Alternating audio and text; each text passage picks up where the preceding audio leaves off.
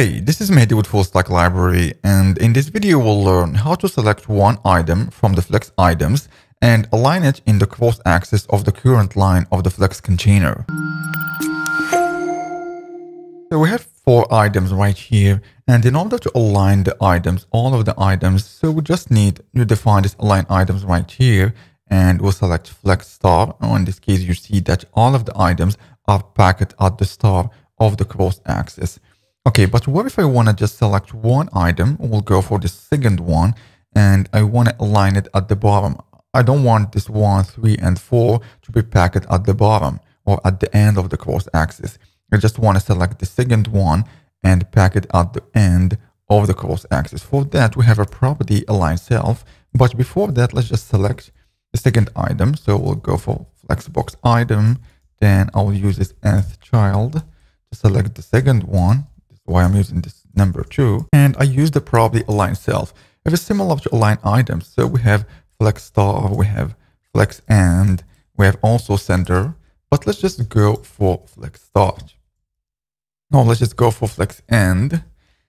And to take this item right here and put it at the end of the cross axis. Okay, let's just save that. As you see, so the item is just moved from the top, from the start of the cross axis to the end. I'm only selecting one item instead of multiple ones. Let's just go for the last one, this four right here, and I will align it at the center of the cross axis. Okay, let's just copy that.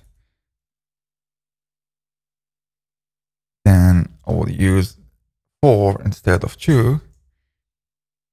And instead of flex end, I will use center. And the fourth element is just aligned at the center of the cross axis, not the main axis. This is the center of the cross axis. It is aligned. The fourth element is aligned at the center.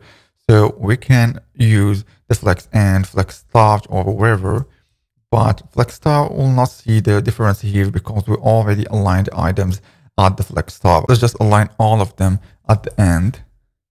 And as you see here, now we see that the second item is just aligned at the top of the cross axis. Use align self if you just want to move one item instead of all of the items. But if you want to move the whole container, don't use align self. Okay, let's just comment that out.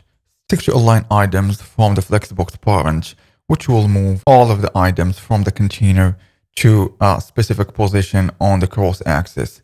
Okay, use align self if you just want to move one item and use align items from the Flexbox parent if you want to move all of the items following this cross axis at a specific position.